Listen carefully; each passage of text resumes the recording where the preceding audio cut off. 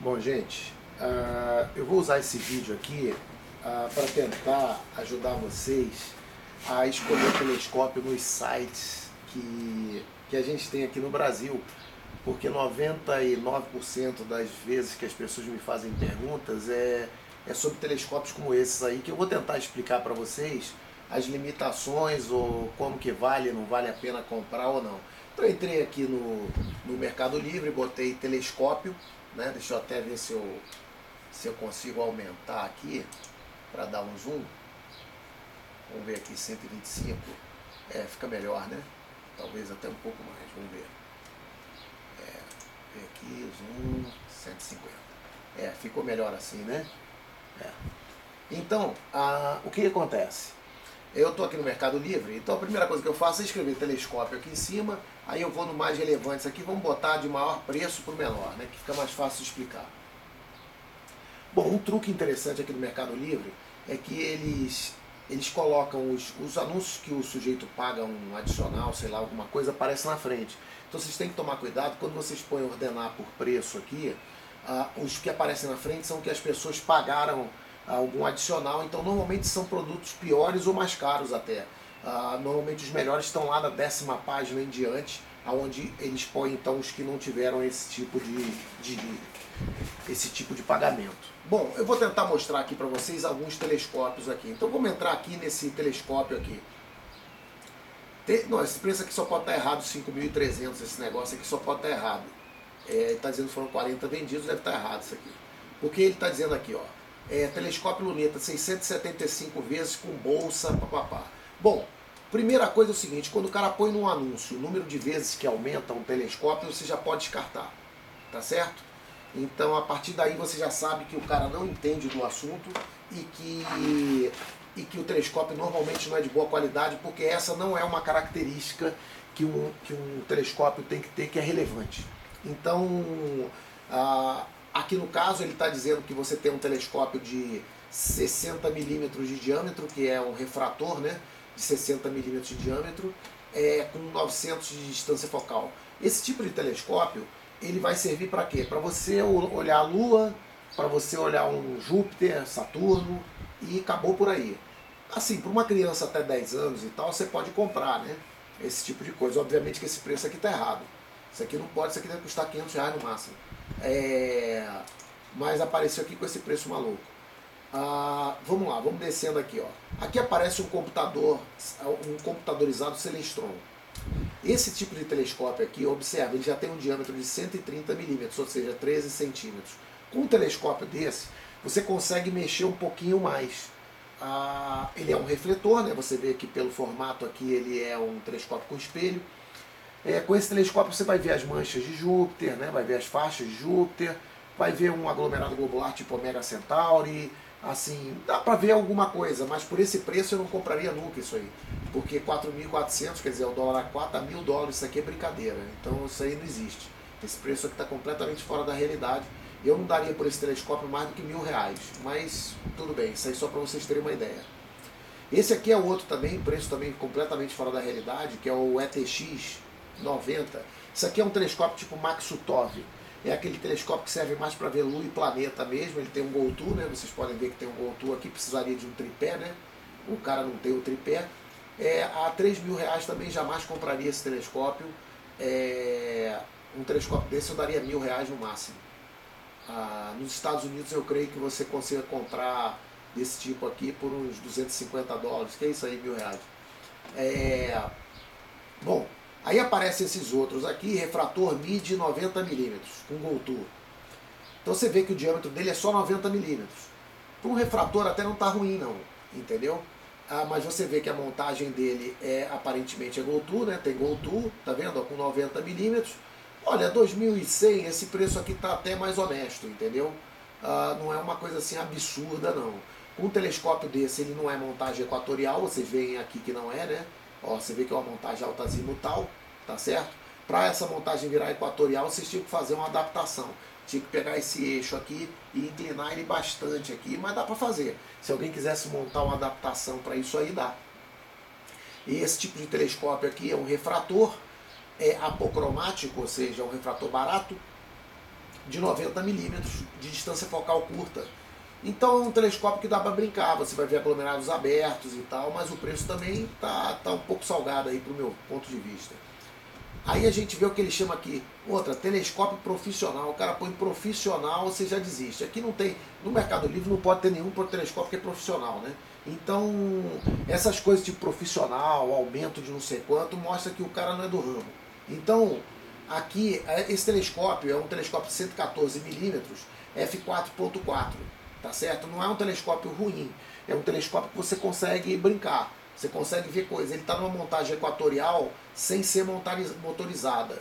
Então, na minha, na minha percepção, o fato dela ser uma montagem equatorial aqui, você vê o eixo aqui, ó, essa inclinação aqui, ó, assim, ó, essa inclinação aqui é que daria a latitude, né? Essa montagem equatorial vocês veem por, esses, por essas abas aqui que ela é manual, ou seja, o cara gira esse negócio na mão para acompanhar. Sinceramente, para mim isso aí só cria problema. Eu só compraria montagem equatorial se fosse é, motorizada com GoTo. Tá entendendo? Montagem equatorial assim, manual e tal, prefiro altazimutal. Isso dá mais trabalho de mexer do que nas altazimutal. Esse telescópio a 1880 também está com preço salgado. É, mas não é um telescópio ruim. Não é um telescópio ruim. Ah, bom, vamos descendo aqui. Ah, você vê aqui um Tasco de 114, é do mesmo tipo ah, telescópio Orion Star Blast, esse aqui eu nem conheço. É, astronômico acessórios, pá, aqui começa, ó. Esse aqui é o 90 ETX com duas oculares, buscadores e tripé.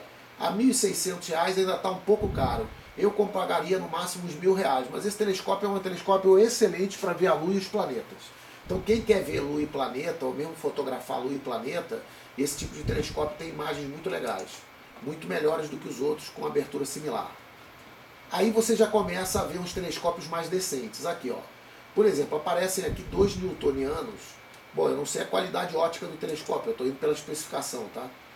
É, isso aqui é um telescópio newtoniano, tipo alta-azimutal, de 180 milímetros. Com esse tipo de telescópio você vê muitas coisas, tá?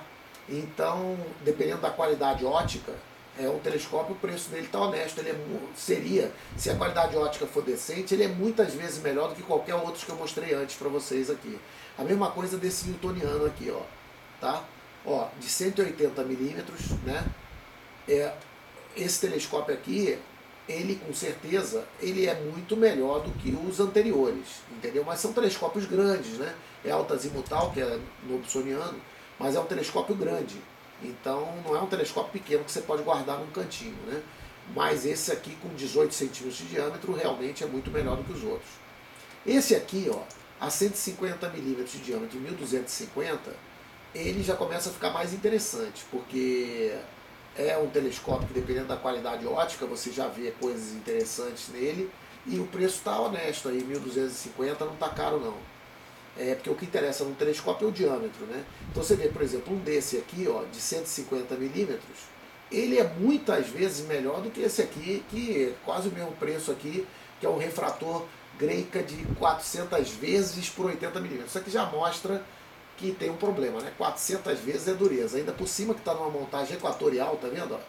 Que é uma montagem equatorial muito frágil. Esse tipo de montagem equatorial, sinceramente, não serve para nada eu não consigo ver muita utilidade nesse troço aqui não. É, então, o fato de ser uma montagem equatorial, se não for motorizada do meu ponto de vista, e com GoTo, não basta ter o um motor, com GoTo também, olha, sinceramente, eu, eu discutiria muito se eu compraria um negócio desse. Bom, vamos agora pular esses lixões que tem aqui, né? E vamos para a página 9 e 10, que é onde aparecem de novo os telescópios mais, mais... Esses lixões aqui eu não vou nem falar, né? É fácil de ver. Se montagem altazimutal, que aumenta não sei quantas vezes e tal, sinceramente, a não ser que a pessoa esteja começando mesmo, não tenha dinheiro, aí tudo bem, vai, manda bala. Mas fora isso, não, não, faz sentido. É, bom, deixa eu descer aqui, está na página, vamos ver na página 10. Vamos ver na página 10, aqui está aqui. Aí começam a aparecer os telescópios decentes. Então, por exemplo, aparece esse, esse Hitchcret aqui de 12 polegadas.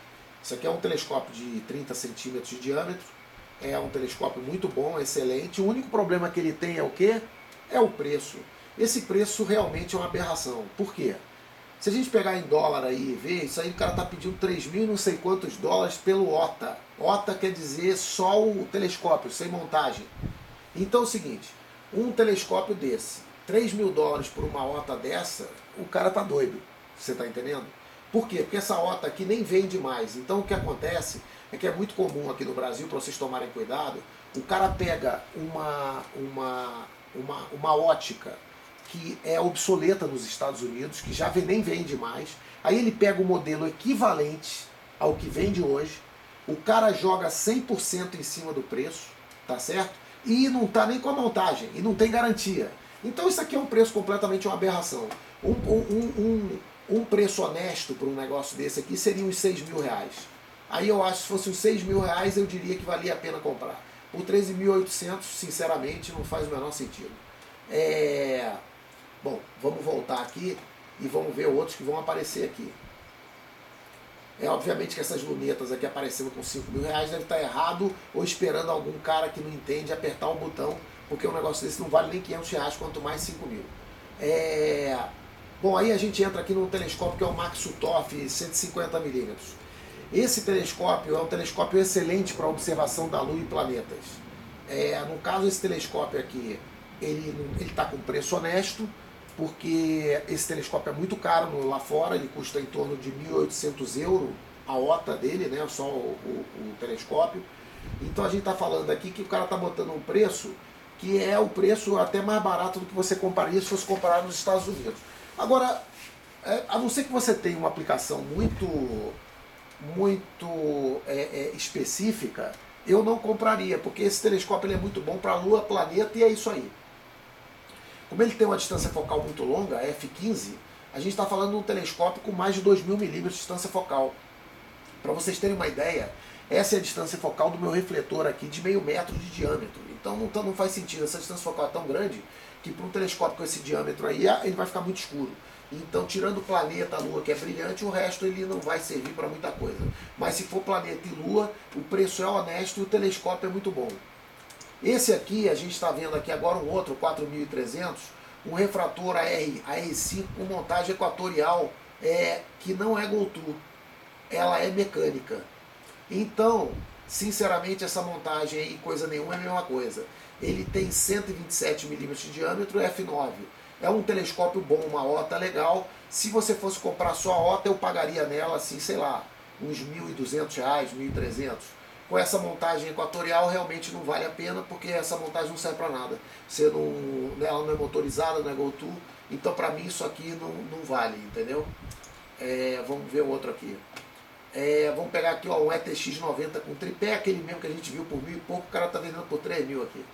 É, aí aparece aqui um telescópio newtoniano de 20 centímetros, é, F10 esse telescópio aqui ele tem um foco meio longo, o que sugere que foi feito no Brasil, né?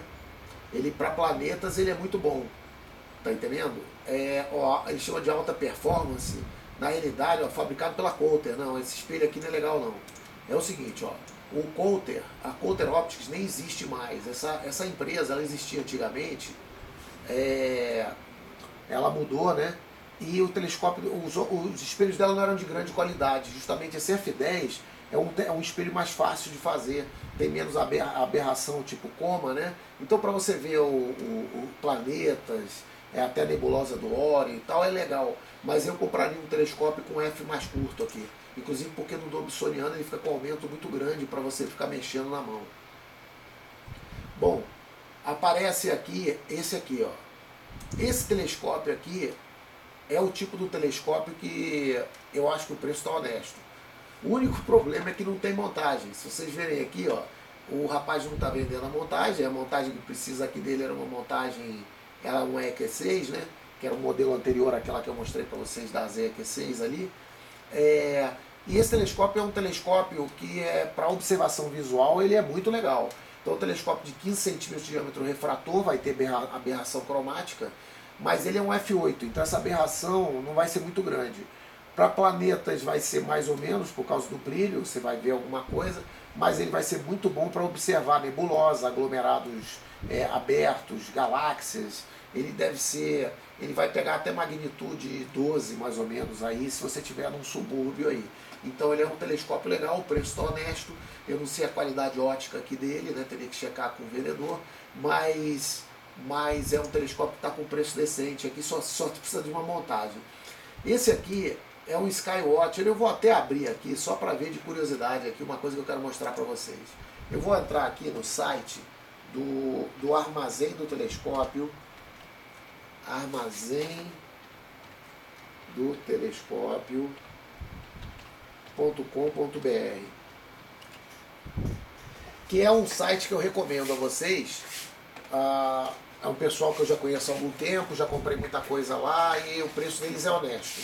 Hoje em dia está mais caro, mas não é culpa deles, é o dólar, né? A gente já pôde comprar aí com eles com seis prestações sem juros, hoje é tudo à vista, né? Mas é interessante a gente ver, porque ó, ó, presta atenção nisso aqui, ó. Eu estou pegando aqui, ó, a pronta entrega, um telescópio 114mm virtuoso, né? Aí vem o cara aqui e pega o mesmo telescópio por 1.700, amigo. Quer dizer, o cara está cobrando mais caro do que, a não ser que ele venha com algum milagre aqui a mais aí. Deixa eu ver o que, que ele vem a mais aqui. Deixa eu ver, ele vem com um tripé, com um modo Bluetooth, um laser point, uma Barlow.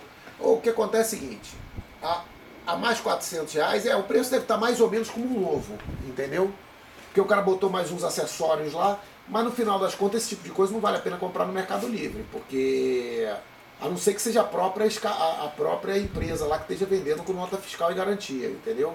Porque é, aqui no armazém do telescópio, você tem os telescópiozinhos que o pessoal lá é honesto e tal, papai. Então o que, que eu diria para vocês? Esse telescópio aqui, que é um refrator de 70mm por 549, isso aqui eu compraria para uma criança. Entendeu? Para a criança até 10 anos, 12 anos, quer ver o céu e tal, papá, cuidado com esse negócio de filtro solar aqui. Eu não aconselho ninguém que, tem, que não tem experiência a usar filtro solar para olhar é, o sol com o telescópio, porque isso pode deixar o cara cego. Então, não, não usem telescópio para usar o sol de jeito nenhum, a não ser que saiba exatamente o que está fazendo. Ah, você tem aqui esse Skywatcher com 90mm com uma montagem também que não é GoTo, eu não compraria isso não. Esse de 90mm também com alta azimutal, tá R$ 1.200. Ah, ele vai mostrar um pouco mais do que esse aqui. Eu não acho que não vale o preço dobro não. Esse aqui já é um telescópio legalzinho, porque tem controle do estelário, ele deve ter GoTo, né? Eu não sei se é, mas parece que tem GoTo. Ou se tem controle do estelário, tem GoTo. R$ 1.200 tá, é um preço honesto. Esse aqui é um de 150 milímetros que tem GoTo também. Então, a R$ 2.600 ele deve ser o preço mesmo, né? Porque está novo, nota fiscal e tal. Só que esse aqui seria o telescópio que eu recomendaria para quem tem um pouco mais de din-din, né? Que seria um telescópio de 10 polegadas, 25 centímetros de diâmetro, Dobsoniano, né? Que custa 3.890. Esses preços aumentaram muito por causa do dólar, né? Mas esse telescópio aqui o cara faz miséria, mas é grande, viu? É bom. Vamos voltar lá. Voltando aqui, uh, aí começam a aparecer os telescópios mais estranhos. Por exemplo, esses amadores aqui, tipo telescópio refletor newtoniano, R$ 1.500. É, o que é complicado você comprar essas coisas assim, quando são feitas, quando é industrial, é porque você não sabe a qualidade ótica. Então, eu tentaria conversar com o vendedor ou me assegurar que a qualidade ótica é razoável. Não precisa ser nada, nenhuma Brastemp, Zeiss, não precisa ser nada disso mas tem que ser uma qualidade razoável. Ó, esse telescópio aqui, uh, 150 milímetros e tal, deve ser um telescópio que dá uma imagem legal, apesar de ter uma montagem equatorial dessas vagabundas aqui. Mas assim, 114 milímetros está razoável, né? Olha aqui, aqui o cara faz o telescópio newtoniano sob medida, mil reais, tá vendo? Então, olha, ele faz de 135 a 256, tudo é feito à mão, né?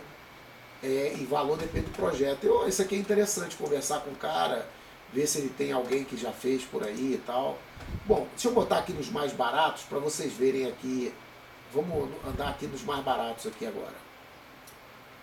É, montagem, tipo aquelas EQ6 que eu mostrei para vocês, isso é um troço que aparece aqui no Mercado Livre e quica. O pessoal compra na hora, porque aqui no Brasil está cada vez mais difícil você conseguir esse tipo de coisa são coisas que são caras, pesadas, a importação aqui é um, o preço da importação é cômico, né? Quando você fala para algum estrangeiro quanto que paga aqui para importar um produto, o pessoal lá pensa que é pegadinha, né?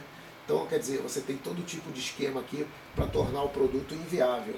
E, infelizmente, o Brasil, né, é um país atrasado, então ele cobra imposto para você trazer um telescópio como se fosse a mesma coisa que trazer um, uma garrafa de uísque. Então, no final das contas, ah, esse tipo de coisa tinha que ter incentivo do governo para que você, qualquer equipamento científico, microscópio, telescópio, todas essas coisas, deveria ter um imposto muito baixo ou, ou ser isento de IPI, ICMS, tal forma que você pudesse trazer pelo correio uma porcaria dessa aqui e pagar, sei lá, 10% de 10, 20% de imposto em cima do preço do americano mais o frete, seria um preço assim é, defensável, entendeu? Agora o preço que se cobra aqui no Brasil ele chega a ser risível, né?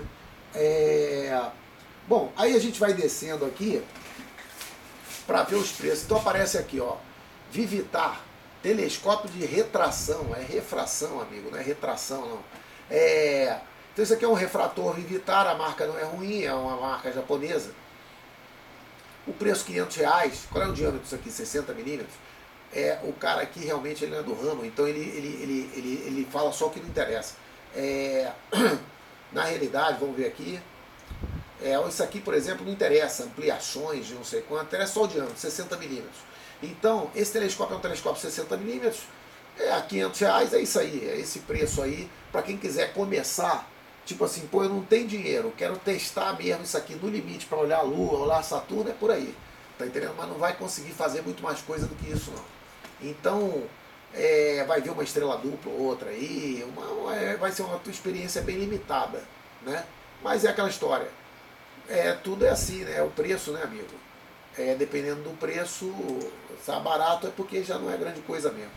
É, bom, é, então acho que eu mostrei para vocês aqui a, mais ou menos os tipos de telescópios e o que, que eu acho. Cada um, assim, espero diminuir com isso o número de pessoas que fica perguntando se esse telescópio é bom, aquele é bom. Eu acho que eu tenho mostrado aqui para vocês o que é bom, o que é ruim aqui e deu para ficar claro aqui, porque o resto é tudo parecido, né? Todo esse negócio aqui, telescópio de refração 60 vezes, 80 vezes, viu que é tantas vezes, já pula o anúncio, porque não é por aí.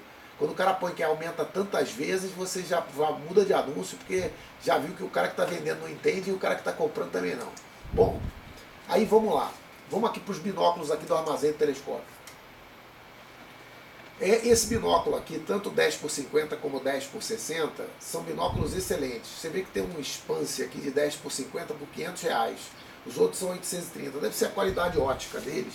Deve ser melhor. Tem até um de 290 aqui, reais Travel View. Eu acho que dá para o gasto.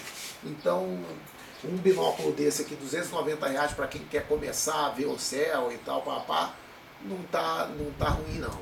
É um, tele, é um binóculo aí que dá para o cara brincar. Entendeu? É, bom, vamos agora ao que eles chamam de tripé, que na realidade são as montagens. Vocês veem por aqui que desapareceram as montagens que custavam mais caro. Né? Aqui no armazém do telescópio, a gente tinha a EQ8, a ZEQ6, a EQ5, eram montagens pô, sensacionais, muito boas, né? e que infelizmente com o dólar que quase dobrou de preço aí, você ficou meio inviável. Acho que é por isso que eles não não tem mais, eles nem anunciam, mas acredito que eles possam pedir para trazer. O que eles têm hoje aqui é. Eles não têm mais nenhuma montagem que eu considere minimamente razoável, não. Então, por exemplo, essa EQ5 aqui não é GoTo. Então, olha, sinceramente, montagem que não é GoTo eu não comprava, não. Vamos aqui para o Astrofoto aqui dele aqui. Aqui no Astrofoto a gente vê algumas, algumas câmeras. Essa câmera aqui, ASI, a, tanto a colorida como a preta e branca, para tirar a foto da luz de planeta é muito boa. Então, a, quem está querendo tirar foto a, colorida direto, compra essa colorida aqui que é R$ 1.100. Ela também vem com uma lente All Sky, que é uma lente que ocupa, você vê o céu inteiro. Você pode pegar essa câmera, botar a lente e ela botar no teto assim, ela mostra o céu inteiro, né? Então, é, você tira essa lente, né, para ligar no telescópio e esse telescópio tem que ser de 1 um e 1 um quarto. Então aqueles telescópios baratinhos que vocês viram ali, aquilo ali não, não, não pega esse troço aí não. É, você tem que ter um telescópio tipo um refletor daquele de 114, aquele virtuoso em diante, aí você consegue botar essa, essa, essa, essa câmera aqui. Eu vou mostrar para vocês os preços realmente abusivos que estão em CCDs hoje, é, num outro site. É, bom, aqui você tem algumas lentes vendendo, você observa também que por causa do preço desapareceram as lentes que eram de, de, de distância focal mais longa. Para você saber quantas vezes aumenta um telescópio é fácil. É só pegar a distância focal do telescópio que você tem lá, o refletor e tal, e dividir pela distância focal da lente. Então, por exemplo, um telescópio de 900 milímetros de distância focal, que use uma ocular de 6 milímetros, ele vai aumentar 150 vezes. Se você usar uma de 18 milímetros, ele vai aumentar 50 vezes. Então, é... por isso que esse negócio de quantas vezes aumenta não interessa. Você comprar o ocular que te interessa, com o aumento que você quer, e adapta lá. Se o telescópio for de boa qualidade, ele aguenta. As melhores oculares são as oculares de maior distância focal, porque elas mostram um campo mais largo, ou seja, você vê mais coisas. Essas oculares são mais interessantes para ver planetas, tá? É, bom, deixa eu entrar agora num site aqui chamado Telescópio com dois L's, telescópio.com.br, que ele mostra, é, ele vende por encomenda aqui no Brasil, é telescópio, eu errei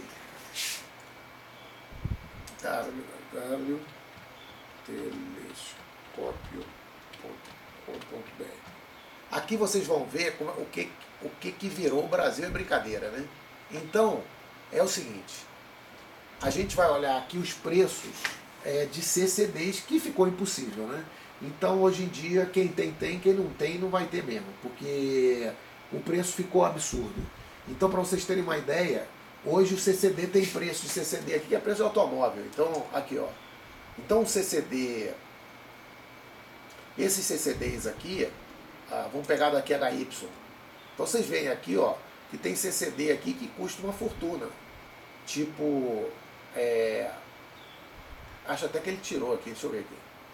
Eu vi uns CCDs aqui por um preço tão abusivo que não é culpa do rapaz, mas é, é o imposto mesmo, tá aqui ó. Por exemplo, um CCD desse aqui, ó, que é HY15 full frame, tá 31 mil reais. Quer dizer, brincadeira. Né? Então isso ficou impossível de comprar. É, hoje em dia a gente não tem mais grana para comprar esse CCD de jeito nenhum. Aqui, até esses aqui, os mais simples, ó, tá tudo 10, 12 mil reais. Então o mercado disso aqui no Brasil, na minha opinião, ele praticamente acabou. Vai ter um ou outro cara aí que é rico, tem empresa ou qualquer coisa, vai comprar uns trecos desses. Eu queria até comprar uns, mas não dá. Então, é, o que eu posso dizer para vocês é que tem aqui, a, quem tem um pouquinho mais ainda para guardar, é esse aqui, é você pegar um, um CCD, um CCD desse da, da ZWO, né? É, que eles estão vendendo até por um preço mais honesto aqui, que é, é esse aqui, ó, ZWO, e tem umas câmeras que já estão com com resfriamento, que é importante para exposições longas. Então você vê que tem câmera aqui por 3 mil e pouco. Então, cada câmera dessa, ela deve ser usada para um telescópio específico, né? de acordo com o tamanho do telescópio, a distância focal. Né? Ah, então aí você escolhe a mais adequada, inclusive se ela é colorida ou se ela é monocromática. Mas custa entre 3 mil e 4 mil reais, coisa que se o cara fizer um esforço grande aí de repente consegue. Mas, é, bom, então acho que com isso aí deu para mostrar para vocês ah, como é que está a situação de telescópios no Brasil e como comprar usando, usando o Mercado Livre ou esses dois sites que eu conheço. Espero que tenha sido útil para vocês.